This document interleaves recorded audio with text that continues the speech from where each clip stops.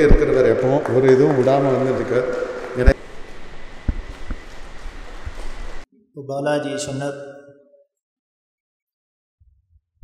வேறு எதுவாக இருந்தாலும் எந்த சரித்திரத்துக்கும் எழுதினவா ஒரு முடிவுன்னு எழுதி வச்சுட்டு போயிருக்கா.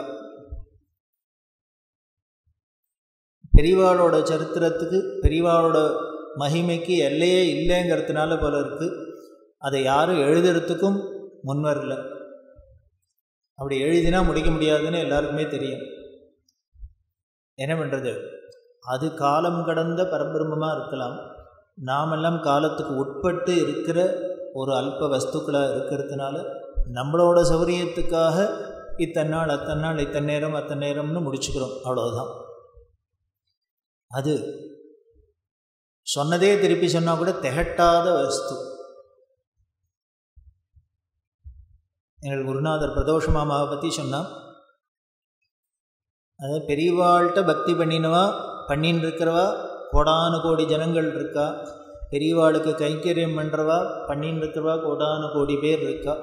ஆனால் இவ அத்தனை பேர்லேருந்தும் தனிச்சு இருந்தது பிரதோஷ மாமாவோட பெருமை என்ன அப்படின்னா தான் அனுபவித்த அந்த பிரம்மானுபவத்தை அந்த பரபிரம்மத்தை எல்லாரும் அனுபவிக்கணும் அப்படிங்கிறதுல ரொம்ப குறிப்பாக இருந்து இன்னும் சொல்லப்போனால் பெரியவா உபாசனை அப்படிங்கிற பெரியவாளை அவர் ஏதோ ஒரு மடாதிபதி ஒரு சங்கராச்சாரியார் ஒரு பெரிய ஞானி அப்படிங்கிறதோடெல்லாம் மட்டும் நிறுத்தாத நித்தியம் உபாசிக்க வேண்டிய ஒரு அவதார புருஷர் ஒரு பரபிரம்மம் அப்படிங்கிறதுல தீர்மானமாக இருந்தது அது அச்சஞ்சலமாக இருந்தா. துடிக்கூட இதில் இப்படி அப்படின்னு ஒரு ஆட்டமே கிடையாது. இதுக்கு சமமாக எதையும் மனசில் அவளுக்கு தோணினது கூட கிடையாது. ஏன்னா எல்லாம் நிறைஞ்சிருக்கிற பிரம்மம் அதுதான் அப்படின்னு இருக்கிறது ஒன்று தான் அத்வைதம்னதுக்கு அப்புறம் அதை எதோட கம்பேர் பண்ணுறது அதுக்கு இணையாக என்னத்தை சொல்கிறது முடியாது. அப்படி தான் கொண்டாடி அனுபவிச்சதோடு இல்லை. தங்கிட்ட வரவாளுக்கெல்லாம் சொன்ன குழவியை கொட்டி கொட்டி அது புழுவை கொட்டி கொட்டி ஆக்கிறாப்புல வரவாளெல்லாம் எடுத்து சொல்லி சொல்லி சொல்லி சொல்லி அது எந்த விதத்திலாம் உண்டோ சாமதான வேத தண்டம் அப்படின்னு எல்லா விதத்துலேயும் அவளுக்கு ஊட்டி ஊட்டி ஊட்டி அவளும் அந்த பெரியவாளை பரபிரம்மம் அப்படின்னு புரிஞ்சுன்னு உபாசிக்க முடியுமா பண்ணினான்னா அதுதான் பிரதோஷமாமா மற்ற பக்தர்கள்லேருந்து மற்ற கைங்கரவர்கள்லேருந்து தனிச்சு நிற்கிறது. யாம் பெற்ற இன்பம் பெருக இவ்வையகம் அப்படின்னு தான் மட்டும் அனுபவிக்காத தான் குடும்பம் மட்டும் அனுபவிக்காத அந்த பிரம்மானந்தத்தை எல்லாரும் அள்ளி அள்ளி பிறகு. ஆண்டாள் சொல்கிறாரே வாங்கோ வாங்கோ வாங்கோ கூடியிருந்து குளிந்தேல் ஒரு இம்பாவாய் வாங்கோ எல்லாரும் சேர்ந்து என்ஜாய் பண்ணும் காரணம் என்ன அப்படின்னா இந்த ஆத்மானுபவத்தில் இந்த பிரம்மானுபவத்தில் மட்டும்தான் இந்த சத்சங்கத்தில் மட்டும்தான் கூட்டம் சேர சேர ஆனந்தம் ஜாஸ்தியாகும். வேறு லௌகீகமான விஷயங்கள் எல்லாத்துலேயும் கூட்டம் கூட கூட நம்மளோட ஷேர் குறைஞ்சி போயிடும். ஆனால் இதை மட்டும் எத்தனை பேருக்கு ஷேர் பண்ண பண்ண இன்னும் ஜாஸ்தியாகும். இதான் இதில் ஒரு பெரிய ஆச்சரியம் பேரடாக்ஸ் அப்படிங்கிறாள் இது. அதைத்தான் பிரதோஷமாமா பண்ணிடும் அப்படி பண்ணி பண்ணி ஏதோ இந்த அளவுக்கான ஒரு துளி லவலேஷம் அந்த பெரியவாங்கிற பரபிரம்மத்தை பற்றி ஒரு உணர்றாப்பில் தெரிஞ்சுக்கிறாப்பில் இருக்குது அப்படின்னா இப்படி ஒரு ஏதோ கைங்கரியம் இப்படி ஒரு கைங்கரியம் நம்ம பண்ணணும் அப்படின்னு அதுவும் பெரியவாளோட சித்தம். இது எப்படி வந்தது அப்படிங்கிறதுக்கு பார்த்தேள் அப்படின்னா மாதம் மாதம் சிவராத்திரிக்கு மாமாவத்தில் பெரியவாளுக்கு நாலு கால பூஜை நடக்கும். மகா சிவராத்திரிக்கு நடக்கிறாப்புல நாலு காலமும் கண் முழிச்சிந்து நிர்ஜலமாக உபவாசம் இருந்து பூஜை நடக்கும். அந்த பூஜை நடக்கிறதே ஒவ்வொரு காலத்துக்கு நடப்புற கேப்பு விழும். அதுவும் இந்த மூணாங்காலத்துக்கும் நாலாங்காலத்துக்கும் மூணு மணி ஆனால் தான் நாலாங்காலம் ஆரம்பிக்க முடியும். கொஞ்சம் கேப் இருக்கும். அப்போ தான் எல்லோரும் கண்ணை செஞ்சுருவோம் ரொம்ப ஜாக்கிரதையாக இருந்து இருந்து உபவாசம் இருந்து கண்ணு முழிக்கணும் இருந்தால் கடைசியில் கொண்டு போய் தள்ளிடும். அதுக்காக என்ன பண்ணுவோம் மாமா? பிரிவாளை பற்றி சொல்லணும் பிரிவாளை பற்றி சொல்லணும். சில சமயம் மாமாவே பிரிவாளை பற்றி சொல்லுவாள் சில சமயம் சேலத்தில் இருக்க ரவின்னு அவரை விட்டு சொல்ல சொல்லுவா. சில சமயம் என்ன சொல்லு அப்படின்பா. அது சொல்லணும் அப்படின்னா சும்மா கேஷுவலாக உட்காந்துன்னு ஏதோ நாங்கள் நாலஞ்சு பத்து பசங்கள் தான் இருக்கோம். சொல்லணும் அப்படிங்க மாட்டோம் உடனே சொல்ல ஆரம்பித்தோன்னு ஏய் ஒரு பலகாய போடுறா. அதில் உட்காந்து சொல்லு. அதெல்லாம் வேண்டாம் மாமா அப்படின்னா உனக்கு இல்லடா மரியாதை. சொல்கிற விஷயத்துக்கு பெரியவாங்கிறதுக்கு மரியாதை. அந்த பெரியவாங்கிற நாமத்தை கேட்டாலே மாமாவோட அந்த ஆனந்தமும் அதுக்கு கொடுக்குற மரியாதையும் நேர பார்த்தவாளுக்கு தான் தெரியும். அப்படி சொல்ல வச்சது இன்னைக்கு என்ன எடுத்து அதுக்கப்புறம் ஒரு நாளைக்கு சொல்கிறேன் பெரிவாளை இந்த அனுஷத்தும் போது ஜெயந்தியும் போது தூக்கின்னு ஆடுற வழக்கம் இந்த ஏசல் ஆடுற வழக்கம் அது ஆடுறத ஒரு நாளைக்கு சொன்னோம். ஏய் இந்த பெரியவாளை தூக்கிண்டு ஆடுற இதோட பலன் என்ன தெரியுமா கிடைக்கும்? பெரியவாளை நீ தூக்கிண்டு ஆடுறது ஒன்றை ஒரு நாளைக்கு பெரியவா தள்ள தூக்கிண்டு கூத்தாடுவா அப்படின்னு. அது நூறு சதவீதம் இல்லை இரநூறு சதவீதம் சத்தியமாக இருக்குது இல்லைன்னா நமக்கு என்ன பௌஷம் இருக்குது என்ன யோக்கியதை இருக்குது நமக்கு என்ன குவாலிஃபிகேஷன் இருக்குது ஒன்றும் இல்லை ஆனால் ஒன்றும் இல்லாத ஒரு விஷயத்தையும் தூக்கி பெருசாக ஒரு மேடையில் வச்சு இனிமேல் எல்லாரும் கேட்குறாப்பில் பேசுகிறாப்புலாம் பண்ணுறா அப்படின்னா அது மாமாவோட வாக்கு சத்தியம் பிரதோஷ மாமாவோட வாக்கு சத்தியம் அப்படிங்கிறதுக்கு இன்னைக்கு ஒன்றுமில்லாத நம்மளையும் தள்ள தூக்கின்னு ஆறாப்பில் இருக்குன்னா அது மாமா சொன்னால் அதனால பெரியவா நடத்துகிறான் இது முழுக்க முழுக்க இதுக்கு காரணம் பெரியவாளும் இந்த பிரதோஷ மாமாவை தானே வெளியே இண்டிவிஜுவலாக எனக்குன்னு ஒரு யோக்கியதையும் கிடையாது. அதுதான் அங்கே உண்மை. அப்படி அந்த மாமாவோடு சேர்ந்து சும்மாவா பெரியவா பட்டம் கொடுத்தா அறுபத்தி நாலாவது நாயன்மார் அப்படின்னு எல்லாரும் தான் பக்தி பண்ணுறோம் அறுபத்தி மூவரோட பக்தி மாதிரி பண்ண வருமா? பரம யார்? எப்பேற்பட்ட மகானான பட்டினத்தார் சொல்கிறார் நான் மூணு பேர் மாதிரி என்னால் பக்தி பண்ண வராதுப்பாங்கிறார் வாழால் மகவறிந்து ஊட்டவல்லே நல்லே மாது சொன்ன சூழால் இளமையை துறக்கவல்லே நல்லே நாளேழில் கண்ணப்ப வல்லே சிறுத்தொண்ட நாயனார். வாழால் மகவறிந்து ஊட்டவல்லேன்னு சுவாமி வந்து உள்ளக்கறி வேணும்னு கேட்டோன்னு யாரானும் பண்ணி போடுவாளா? யாரோ ஒரு சாமியார் வந்து நம்ம இடத்துல கேட்குறாருன்னு வச்சுப்போம் நாமளாக இருந்தால் முதல்ல போலீஸில் கம்ப்ளைண்ட் கொடுப்போம். இப்படிலாம் வேஷம் போட்டுனா லேயர் அணுக ஊரில் ஏமாத்திண்டு அப்படின்னு ஆனால் சந்தோஷமாக பண்ணினு. இப்படி யாரானும் பண்ண முடியுமா? பெத்த அப்பா அம்மா தன்னோட குழந்தைய தியாகம் பண்ணி யாருக்கானும் சாப்பாடு போடுவாடா மாட்டா பண்ணினாளே. அந்த புத்திரபாசம்ங்கிறது துளிக்கூட அங்கே வேலை செய்யலே. தான் ஆடலைனாலும் சதையாடும்பா. அது கூடனா அங்கே பொய்யா எடுத்து. ஏன்னர்? அந்த ஈஸ்வர பக்தாளுக்கு கைங்கரியம் பண்ணணுங்கிற ஒரே லட்சியம். அந்த பக்தி முத்தினத்தினால பந்த பாசம்லாம் பின்னால் போயிடுது. பட்டினத்தார் சொல்ல அப்படி சிறுத்தொண்டர் மாதிரி என்னால் குழந்தையை தியாகம் பண்ணி உனக்கு பக்தி பண்ண வராது. மாது சொன்ன சூழால் இளமையை துறக்கவல்லி என்னலே திருநீல கண்ட நாயனார் மனைவி தப்பாக மிஸ் அண்டர்ஸ்டாண்ட் பண்ணிட்டு இனிமே என்னை தொடாதீங்கோ அப்படின்னு சொன்னத்தோடு இல்லை திருநீலகண்டம்னு ஈஸ்வர நாமாவை சொல்லி ஆணை போட்டார். அதுக்காக இவர் இளமையை திறந்தார். எப்படி திறந்தார்? பெரிய புராணத்தில் சேக்கிழார் சொல்ல இவா ரெண்டு பேருக்கும் இவ்வளோ ஒரு மிஸ் அண்டர்ஸ்டாண்டிங்னு அடுத்த வீட்டுக்காராளுக்கு தெரியாதான் வருஷ கணக்காக அப்படி இருந்திருக்கா? நான் அடுத்த வீட்டுக்கு அயலார் அறியா அப்படிங்கிற அப்படின்னா அப்படி என்னால் திறக்க வராதுப்பா. அது பண்ண முடியாது. இந்த கண்ணப்ப நாயனார் கைலாசம் போகிறதுக்கு வருஷக்கணக்காக பக்தி பண்ணலப்பா. நாள் ஏழு ஏழே நாள். யாரானு ஏழு நாள் பக்தி பண்ணி நேரம் மோட்சத்தை அடைய முடியுமா? கைலாசத்தை அடைய முடியுமா? பண்ணினாரு.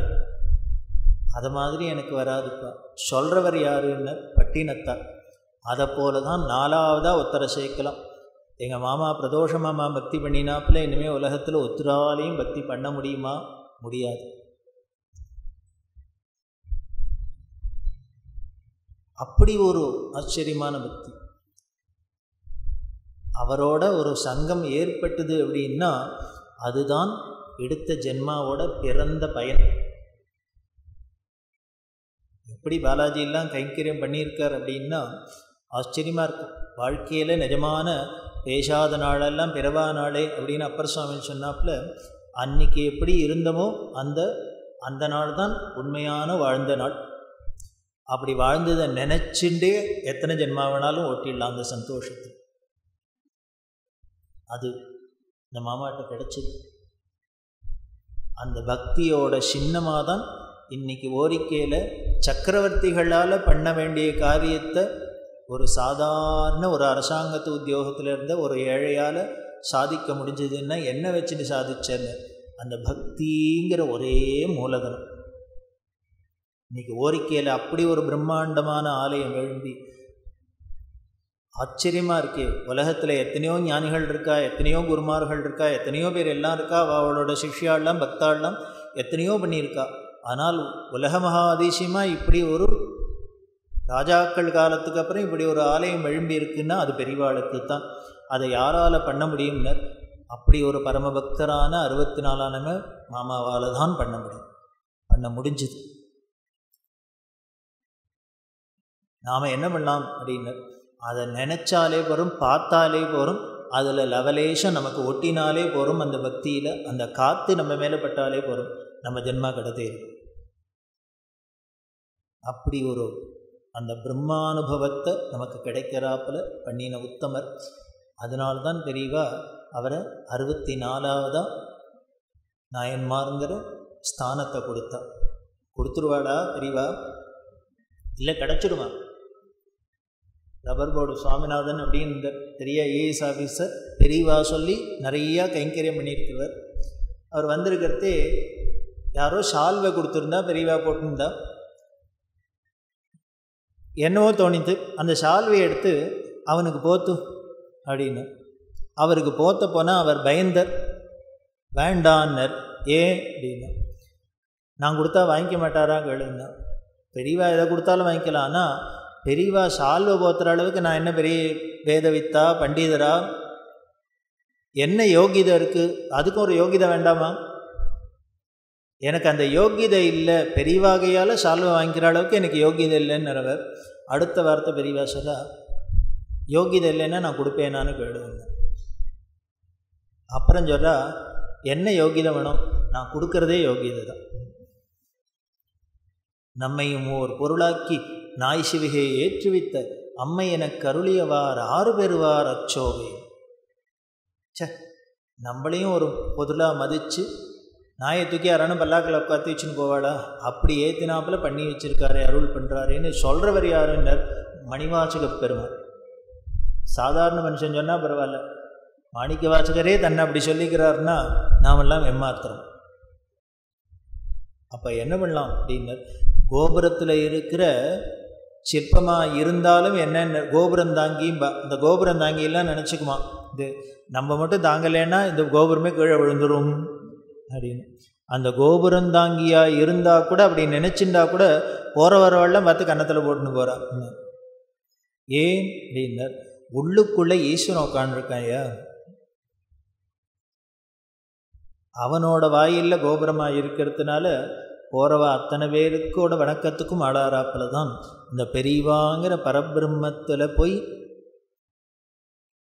ஒட்டிக்கிறதுனால நம்மளோட பாக்கியத்தினால அங்கே போய் ஒரு சம்பந்தம் ஏற்படுறதுனால நமக்கும் இப்படியெல்லாம் ஒரு வாழ்வு வருதுன்னு தெரியுது. இதுதான் பேர் அனுகிரகம் பெரும் பாக்கியம். இதை விட பாக்கியம் நம்ம உலகத்தில் என்ன அடைஞ்சாலும் இந்திர பதவி அடைஞ்சால் கூட இந்த பதவிக்கு இதுக்கு ஈடாக முடியாது அப்படின்னு சொல்லி. அந்த பரபிரம்மம் இன்னமும் எப்போதும் இருக்கிற சாஸ்வத வஸ்து. போக்கும் வரவும் புணர்வுமிலா புண்ணியனே அப்படின்னு மாணிக்க வாச்சர் சொல்ல அவர் போகிறதும் கிடையாது வரதும் கிடையாது. நீ எதுவும் கிடையாது பரபிரம்மமாக சாஸ்வதமாக இருக்க. நாங்கள்லாம் போயிட்டு வரதுனால வந்துட்டு போகிறாப்புல தெரியப்படுது அப்படி சாஸ்வதமாக இருக்கிற பரம்பொருள் அவதாரம் பண்ணின திருநட்சத்திரம்தான் அனுராதா நட்சத்திரங்கிற வைகாசி அனுஷம். இந்த மாதம் இருபத்தி ஒம்போதாம் தேதி அந்த சுபதினம் தெரிவாக அவதாரம் பண்ணின வைகாசி அனுஷ சுபதினம். அதை உலகம் முழுக்கலும் எல்லாரும் விமர்சையாக கொண்டாடுறா. இப்போ என்ன ஒரு சந்தோஷமாக இருக்குன்னு அனுஷத்தில் பிறந்தவா எத்தனையோ பேர் இருக்கா? இருபத்தேழு நட்சத்திரத்தில் அதிர்ஷ்டமான நட்சத்திரம் என்னென்ன? அனுஷம். இந்த அனுஷத்தை கொண்டாடுறாப்புல உலகத்தில் ஒரு நட்சத்திரத்துக்கும் கொண்டாட்டம் இருக்கா தெரியல.